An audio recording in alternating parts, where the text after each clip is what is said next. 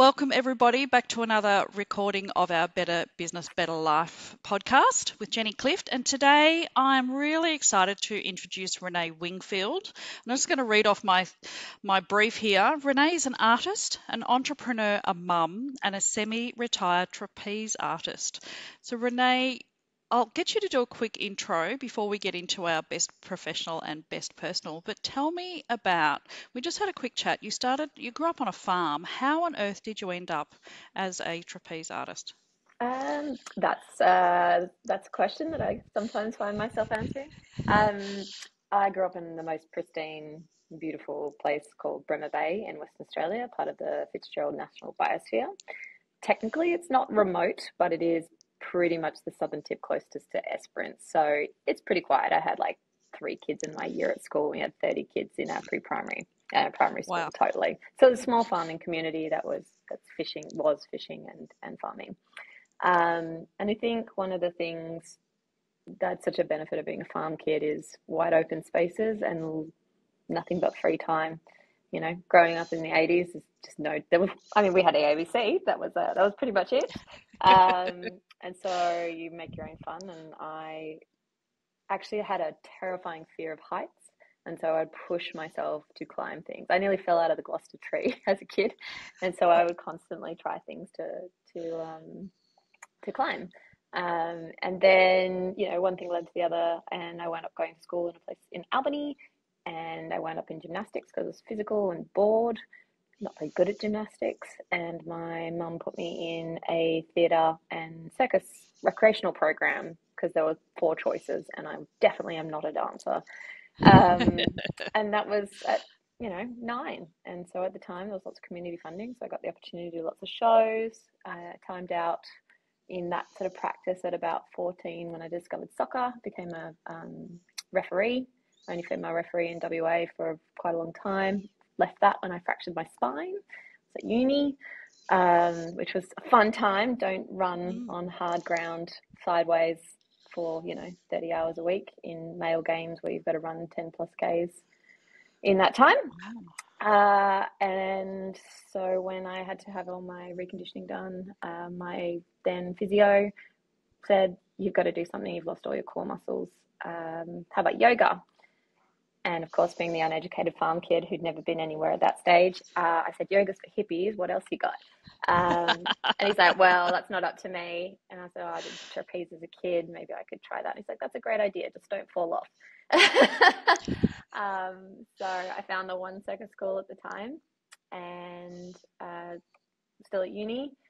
And then 12 months later, I found, my, found myself graduated from uni running that circus school, which was then. Um, Cirque Berserk and is now uh, the Western Australian Circus School, Circus WA now. Sorry, it's gone through a couple of naming conventions, which set me on the path to start Fliptease and travel the world and train in China and acquire many, many, many, many, many more injuries and many more experiences.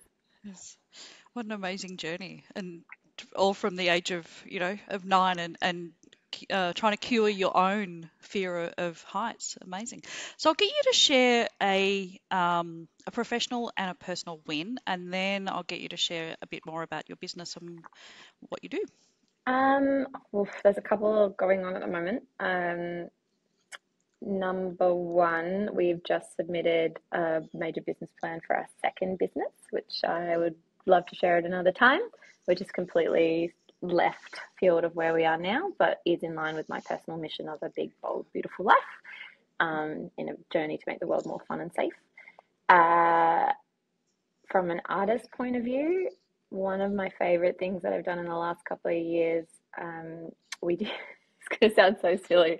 So I've worked as a mermaid professionally um, for like 14 years. It's one of my many nom de plumes uh, part of Fringe World here. So dubious title of Queen of the Mermaids, and I always wanted to have a mass migration. So we did a mass migration of mermaids here in Western Australia at Coogee, um, pristine. We had 78 mermaids rock up, all, com- all different communities, like representation from anywhere we possibly could. Um, and so we have the Australian record for most mermaids on a beach. So that was a huge win. Not a, it's not a shiny like profiteering. In fact, we lost money but there was something really magical about all these incredible different bodies, all different spaces, culminating to flop around on the beach in 32 degrees on this like pristine beach. And I just felt this, you know, this together moment of like, it took 14 years to get this, to have trust from the community, to have appetite from clients, um, and to get the joy. And a thousand people rocked up to see it. It was, and we made like four different wow. new services. It was, it was insane. So we're we're just about to release that for the next one for next year, and we really want to beat the world record, which is I think 300 or 327 held in China. Um, so one day, but it's just those silly little, you know, gamified fun things that you can physically see and people get excited for and you make my life feel so boring. How on earth did you come up with that idea of a mass gathering of mermaids? Uh, look, the mermaid community is, is pretty unique. I, I, I wound, I, I literally fell into it not by training or anything like that. I mean, I guess as a Western Australian kid, we spend most of the time in the water and as a young child in the ocean.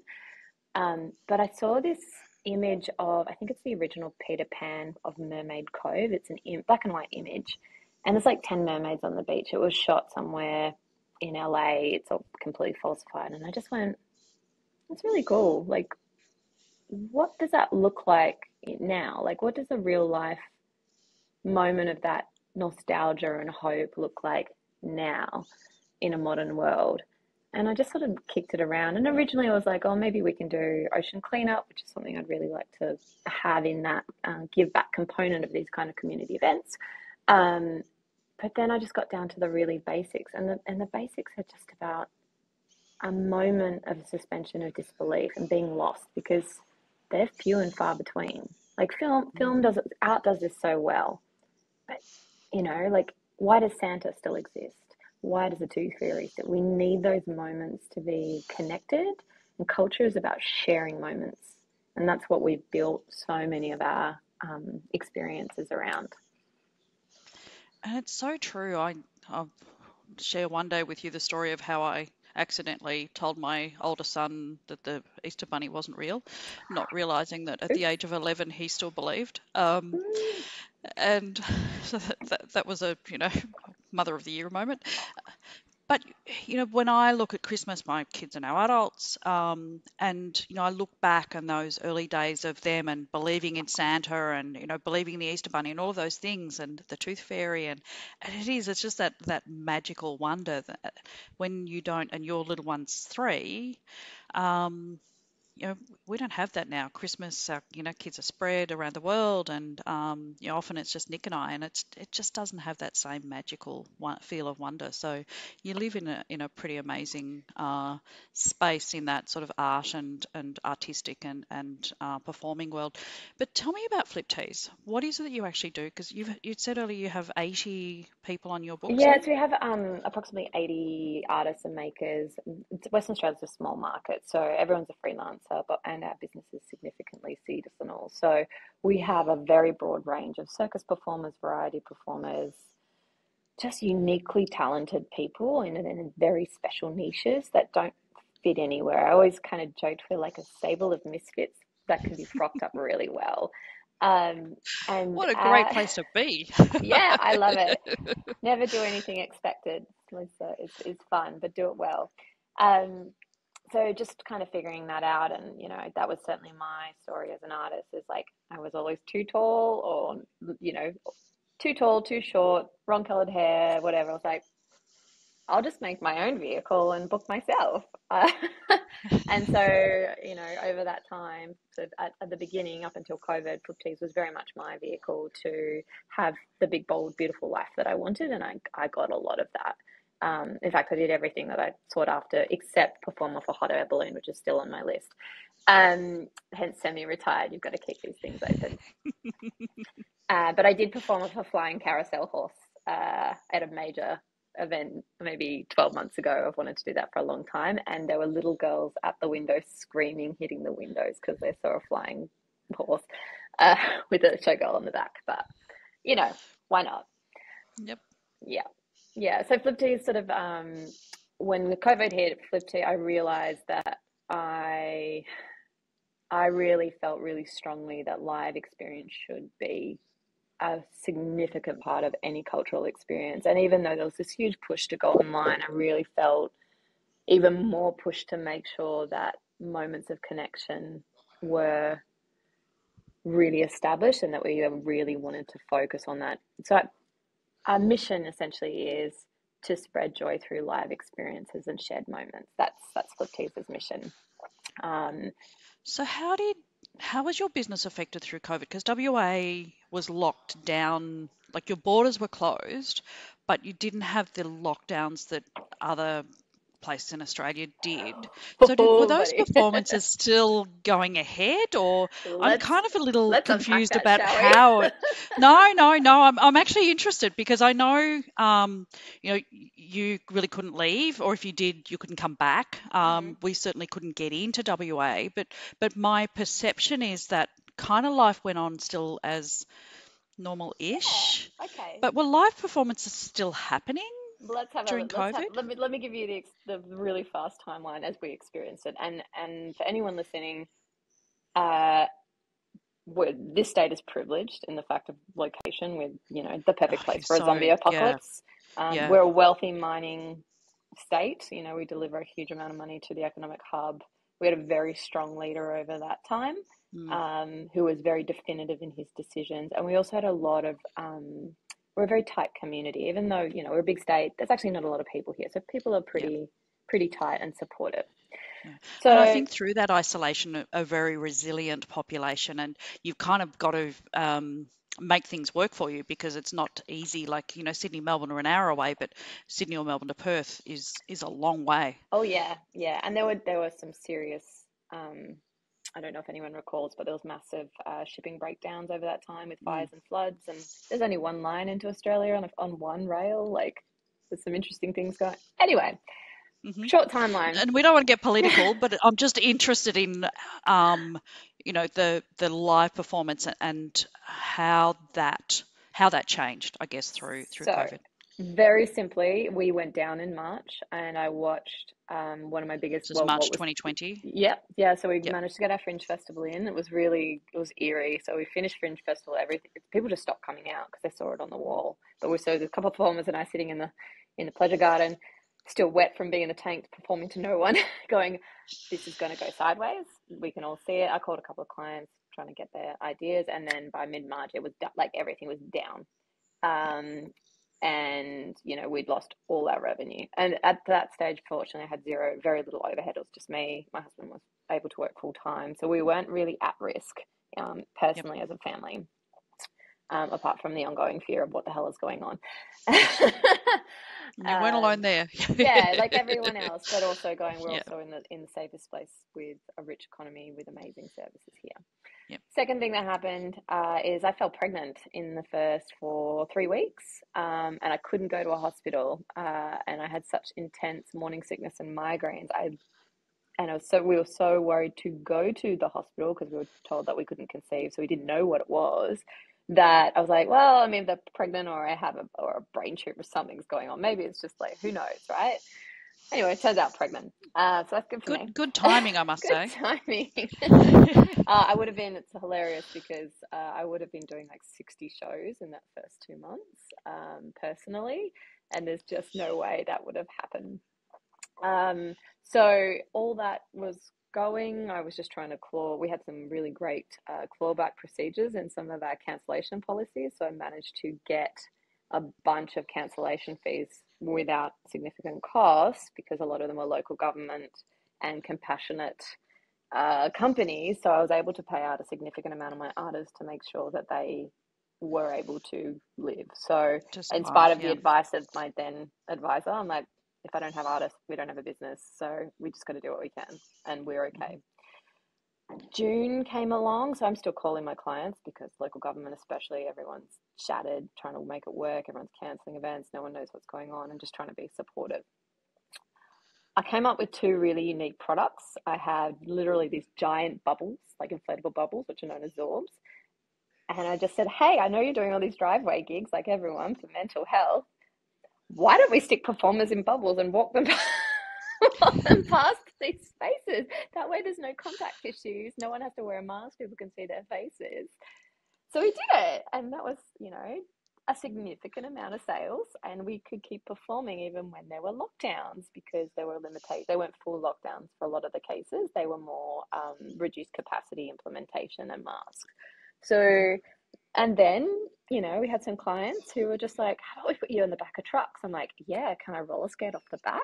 So we got Main Roads permission to attach a bunch of us, like Back to the Future, with a full sound system on the back of a pickup truck and drive around local councils. And that was a significant contract. And there was only so many people that, because we had, I've got extensive um, risk management in being a mm-hmm. trapeze artist, and I'm also an advanced license rigger and have worked with some really great people. So there was not really anyone else they could they could come to, and we already had these relationships.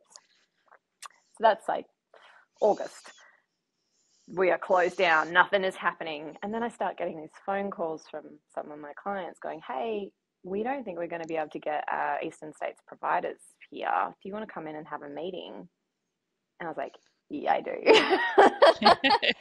so suddenly, what a silly question. Uh, oh no, no, you know, uh, a bit busy. exactly.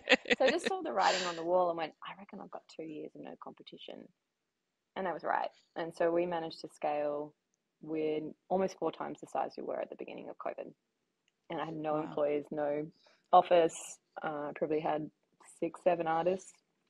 And then I joined EO at in that August. Okay. Um, oh, so you you were new to EO when I met you as a trainer, yeah? Uh, yes, I was pregnant. That was my first session. That's right. Yeah. yeah. Yeah. And so it was just like we went from literally the business is going to die. And that was okay because it was just me. It was no risk to make a choice. You've got this massive opportunity in front of you. What do you need to do? And I started by hiring my project manager, who's now my 2IC and integrator, Natalie, who's phenomenal. Um, and then we also, because we're an unfunded arts company and I don't play in the funding sphere typically, because I think it's really valuable for arts organisations that do need that assistance. I need an attitude check on this, but that's okay. um, and so we were able to get some of the new apprenticeship uh, money, which substituted roles for training and so that gave me a heap of scaling opportunity and reduced risk um, to bring on full time staff. And then from there, we just went bang. Bless you.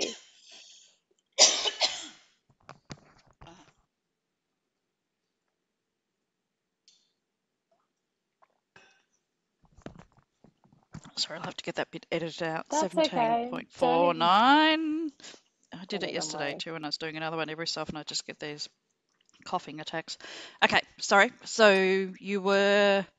So we managed to um, procure training funding instead of project funding, which was okay. amazing, and gave us. And that was through another EO member actually, and my coach um, connected us. Uh, my peer, my peer coach, and so that was phenomenal. And I would have done another one had I could find more staff.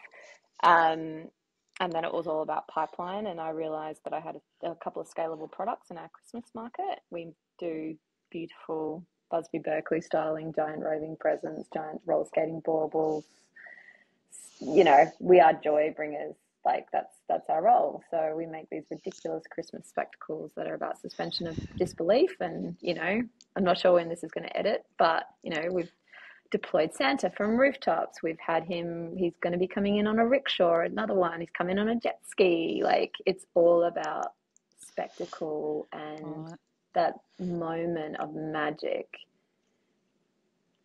And that's I'd love to see into your store area. Oh, it's a mess. I mean, it's not. We have like, um, so we also managed to, with a lot of support, we procured our first premises this year. The price of operational floor here is uh, triple what it was prior to COVID. So managed to negotiate um, with an, a building tenancy for a really great lease. Um, so we fill out 250 squares plus three desks. So also got one, two, got two full time plus me plus uh, plus our wardrobe team member, and I, we're going to probably have two more by the end of this financial year. It was fill the space. imagine. Yeah, Yeah. just imagine the, the wardrobe Yeah. space. Yeah. So coming out of COVID, you said that you, you know, you knew you had two years without competition. What happened coming out of there? What was your what was your strategy, I guess, and then what sort of unfolded as as borders started to open up and people started to travel more? Uh, relationships, relationships, relationships is what I was focusing on because one, um, our job as an arts company is to solve our clients' problems.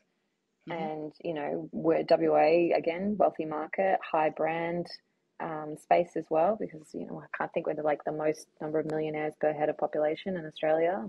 Could be Southern Hemisphere now, I don't know. So there- there's very much want for high end brand space. Um, and you have to achieve that, you need significant trust with clients and stakeholders. And we I actually call them, we're all stakeholders because in, in, in many ways we've grown partnerships between us. So for hmm the for our clients to succeed, you know, yes, there's there's there's probably some other unique operators out there. Um, but the cost now to bring them over is so Oh, significant. it's It's like three or four times, and we're able to provide in-person value. You know, those those those relationships really matter. Like I know I've had some from my clients for 12, 14 years now. Like they've been with me on the whole journey. So it's it's always about people, Yeah, especially when you make magic. Yeah. People do business with people they like and they trust and all those sort of things. 100%. So when do people come to you? Uh, Do they have an idea and they are looking for somebody to bring it to life, or are they saying, "We want an event, tell us what you can do"? it's a bit of a mixture. And so we don't provide events as such. So we, we're entertainment, pro- essentially end-to-end entertainment solutions in a very niche space. We don't do musicians, although we will collab with the musicians. We don't really provide dancers, although we collab with dance companies hmm into our spaces. I think what we really are defining are is like we're a pro- creative production house for high-end spectacles where we use our own intellectual property and caliber unless we're presented with a brief. And we have done some outstandingly fun conceptual briefs with some of our long-term clients. Um, include, you know, we we did a massive activation in partnership with DGPR, Lottery West, West Coast Eagles. I'm probably missing someone here um, to produce the ninth lottery ball in 2018, and that was a um, we were just given a concept saying there's going to be this much, and we need nine three meter helium balloons moved around an oval. Here's a budget. And so, you know, three weeks turnaround, you've got to work out how to deal with a class gas in a high uh, risk environment in front of 55,000 people with, you know, one of the biggest funders in Australia on a day when there's four events and you've got to hire 23 artists that you don't have at the time and No pressure. them.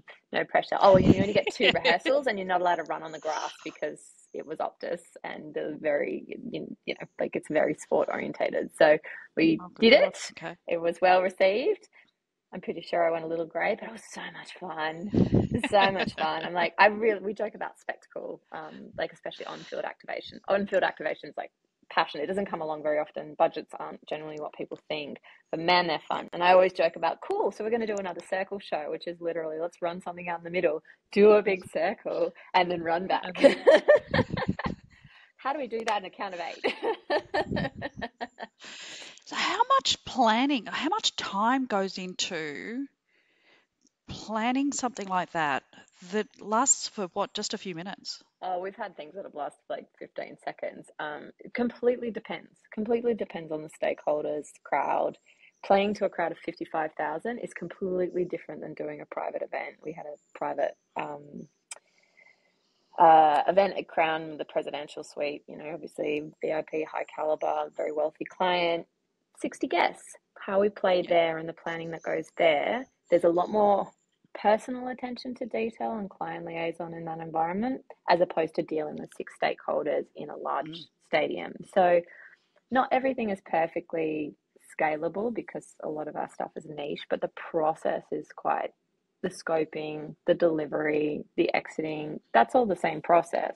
It's just that there's less of it when there's 60 Yeah. people. It just means you've just got to be 100% true. Um, and then some of those bigger projects, like I mean, we only had three weeks to turn around that one. But at the time, I didn't have 60 shows in 40 days and I didn't have staff. It was just me and an assistant at the time and great stakeholders that I could ask questions for. And then I literally just on the phone, on the phone, on the phone, on the phone, and then cast, cast, cast. So completely varies. We, we have some bookings that are in play for 2026 at the moment. So, you know, people wow, can be okay. really organized, especially if they're major tourism or, um, yeah, you know, I, not that we're doing it, but I would like a World Expo that happens way out in advance, or, you know, so Expo is actually really organized on average. That could be a year out. Um, you know, we've also done events with less than 48 hours notice, nice. but they tend to be mm-hmm. smaller. Um, yeah, sometimes we get Somebody a decides today that they'd like a mermaid at their birthday party on a Friday night. Yeah. And tomorrow is a hard no because we are completely booked out. But yes, yes, yes, it is. Oh um, damn! yeah. So well, my time. husband's got a big birthday coming up in uh, in December in Bali, so perhaps we can chat about doing something then. Sure. Let's bring let's bring a whole pod. Um, yeah. And we can put those giant uh, inflatable balls out there with some light up characters. Very Met Gala. I'm sure he would love that. Oh, so funny. It's, it's been wild. Like I, one of the reasons I love being an artist and between the artist and entrepreneur, especially in the live performance space, one people vastly under, underestimate the artist. Like they never, they never assume unless they've known me for a long time. A, I'm the owner and the creative.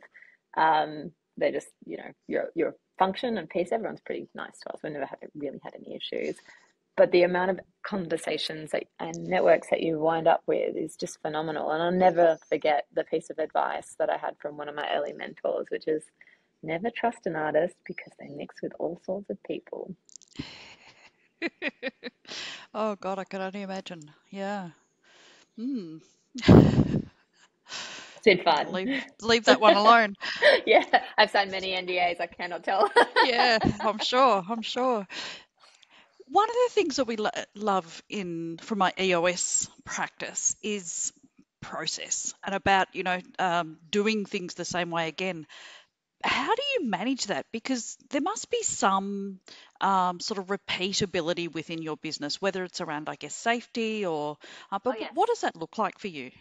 Uh, well, I'd love to show you my Monday spreadsheet and because that booking process from scope to end to to um, review and invoicing and then further follow up could be as long as 40 steps um, like how we make toast right the early yeah. early mm-hmm. example mm-hmm. so again some of those steps aren't always in it depending on the risk level but the steps are exactly the same thing you know yeah. inquiry or, or lead physical phone call scoping ask the question, you know, who, what, when, when, why? What does this look like if it's successful? What does it look like when it's a failure? Like, you know, the sales process is essentially the same and the gathering of information is really critical. And then there's a rescope. Um, you know, some are more complicated than others. They might take three or four meetings. That's okay. Um, and then it's going through project management, casting, packing, production, resourcing, ordering, executing executing is often the simplest thing because everything's yep. done then and then you know making sure everything comes back and is washed not fun I can tell you on a 40 degree day that's not a fun day for mm. anyone um, thought and of that. Then, you know yeah and then post follow up with um, stakeholders performers clients returns invoicing follow up checked for next year like it is the process is the same. The bit that I really struggled with is um, until I took on, I wasn't very good at standardizing uh, systems, like standardized, especially pay rates for artists, because I'm very passionate about making sure that artists get opportunities and are paid properly and are paid promptly, because it's something that media pushes a lot that, you know, the poor starving artist mentality, um, which I am not a part of. Uh, so I wanted to make sure that was in place. And once my 2IC and my, my talent manager joined me, we had we just have a really bulletproof process. So I don't touch that stuff. I just scope the event now. They budget it with the standards that we agreed on that get reviewed every six to 12 months. And suddenly it was easier. And then we yeah. built the, the system started to build itself because we work with autonomy in that space and we talk to each other. Um, and we have built that system since I had systems in place that were okay.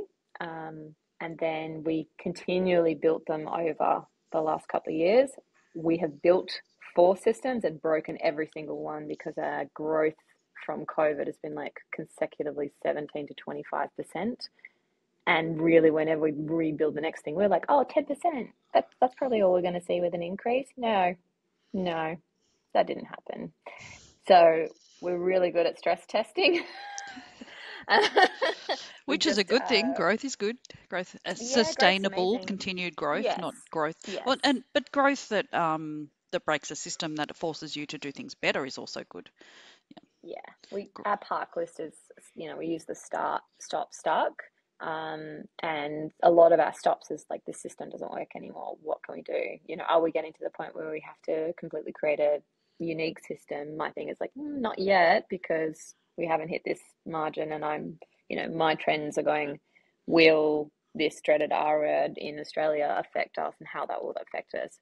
I have theories, but I want to make sure that, you know, that we're stress testing even those projections because the opposite could be true. And that was certainly my experience when we started Fliptease in 2006. We were in a, a recession then in Western Australia and we went banana. Like we, we were able to quit our jobs at the time and be full time artists within two years, even in the middle of a recession. And everyone's going, why? I'm like, because people are drinking and people want entertainment and they want to be, mm. they want to be drawn away into a much more exciting world than not having a job or having a hopelessness. We're there as shiny objects that provide hope. So the you've probably heard me say this. You know, routine will set you free. Interesting that. Um, you know, and I know you're you're visionary, as many business owners are. That, um, but you know, we just we just have to have those systems in place. And um, even better is when we have the systems and the routines, and somebody else does them. Uh, that's my favourite. Um, I still have to do it myself, but making you know making sure there are other people who can do that. Um, I was on my last podcast um, we are talking about the you know the current economic climate and what are you seeing? And most of your work is locally in WA, but um, the comment from Jason was that um, there's a bit of reluctance, a bit of delay, things that would uh, you know a year ago would have been yes let's do it. Now it's yes let's do it but it might be a month or two months before the contract gets signed. So what are you seeing? I think i'm in a really unique position uh, one, I've been in the sector for a long time, even as a child. And so I've seen other parts of the building. I personally think that for me in performance industry, the contracts will still say the same. Yes, there's some of the late standing. Yes, there's changes in budgets and how we access budgets. There's definitely, for what I'm seeing, there's definitely money, less money in the pipeline for the projects that we used to do. However, I know from recession and watching history, people need art and culture more when times are bad than when they're good. Um, so I foresee that we'll see changes in how money's spent, but it's going to be spent on the same thing in a different way. Yep.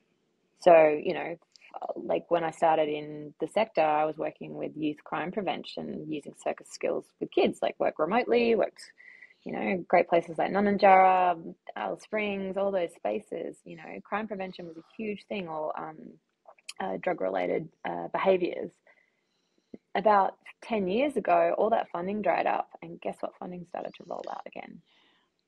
Because when things are getting bad, like people look for escapes, children doubly so because yep. things aren't good at home. So, so prevention you know, there, you know, after the fact, you know, um, yeah, the police yeah. and yeah, yeah, don't, you know, go set up an after midnight basketball program instead. If you've got mm. vagrancy on a street, go set up some sport and have some food. Like, that's most of the issues. Like, is there enough food at home? Probably not. Is there something to do that's not going to get them hurt or in trouble with someone else? Probably not. Like, it's pretty, you know, it's just going to be spent elsewhere. Yeah. And yeah, and we know. Mm. Yeah, you can spend five dollars in arts and culture, and there's a great um, uh, organization called Culture Counts, and they also run Praxis, which is a, a reporting um, diagnostic tool that government uses here a lot. And if you spend five dollars on art, in especially physical stuff, you can save twenty five dollars in healthcare and crime prevention. So it's a no brainer. you know. So now we're just getting into that different part of our capacity of like when we're designing programs, it might be WA Day, it might be telethon, like what are we designing for? Who are we designing for? Who are we inspiring? What is the purpose? And the purpose is spreading joy, making connection. And it must and be more... such a wonderful place to. Like, um, I am not an artist in any stretch of any imagination. Um, I always joke that if you want people to leave and go home at the end of the party, I'll start singing. They will all leave immediately, um, and completely uncoordinated. Um, but for you and your team to be able to to perform and just see the joy, it's that instant gratification of you know having that instant effect on people must be a, a wonderful um, place to be. Yeah, and it's it's unique for everyone. You know, like we'd have this giant diamond. It's it, I don't know if you're a Harry Potter fan. You know the Quidditch mm. like mm. hoop. Mm. Oh yes. Like there's yep. we we made some versions of that here. It's called a lollipop lyra um, because a lot of places we can't rig because there's no facilities. We don't we have a lot of resources in terms of venues here in Western Australia. We don't have pokies, so there's not actually that much money for entertainment compared to the eastern states. But I wanted to make something fancier, so I made a six-sided princess cut diamond, which I'm happy to send you a photo of. Um, and I was six months postpartum. I was like, I just want to make this thing because it was Lifeline, and I knew how much Lifeline had contributed, especially to Western Australia. And I had a diamond ball. I was like, I'll make them a diamond. Like it cost me a fortune. And I remember because it was really the first time that some of the um, big social events were coming back in 2021 because the like gala balls just weren't happening because no one was buying tickets. Yeah. And I remember a beautiful group of socialites and Instagrammers walking into the ballroom looking amazing, just amazing. I'm feeling super self conscious because I'm, you know, not at my best still. I can just get into my costume. I'm still breastfeeding. So I'm like, am I going to milk through this costume? Mm, who knows? Um, and they're squealing like, like little girls shrieking with delight because there's a fancy lady on a diamond standing three meters in the air pouring champagne beckoning them over. I'm like, this is what it's about. Like, I know it's completely vacuous, but they're going to remember that for the rest of their lives. I didn't, and this time no one was like filming. It was this the moment in COVID where people were actually just happy to be out and together yeah. and sharing these moments, and that's that's the thrill point. And I still remember those moments of um, actually going out and being with people. I I remember the earlier times when it was, I'm you know, oh, you know, that time that we went to Tony Robbins in Sydney and there was three and a half thousand people in in a stadium. Do you think we'd ever do that again? Um, like that, that we would want to? Hell yeah. At the time, I was like, mm, not so sure. But I remember that mo- those moments of first being able to go out and do things and be with other people. And um, and you're right. It, it's and you know we we remember experiences. We don't remember stuff and things but we remember experiences. Yeah. and for you to be able to provide those is is amazing. Now i am going to have to call it here. You and i could talk for hours and i'm really looking forward to getting back and doing another one of these when you're going to share your new business with us. But let's just finish off with three tips three things for you to share with our audience. Um, things that might be uh, resources or but what are those three things you'd love to share um, we spoke about it briefly in the, in, the, in our warm up. Uh, read, just read, and read things that make you feel uncomfortable. My goal this year was eighty books, which I'm very close to um, completing, and it just keeps me out of social media and actually um, digesting ideas, not opinions, um, at someone else's leisure. Like I'm cultivating my own um, my own diet the same way I do in my day to day life. So choose what you're consuming to nurture yourself, especially if you're going after a goal. Join EO.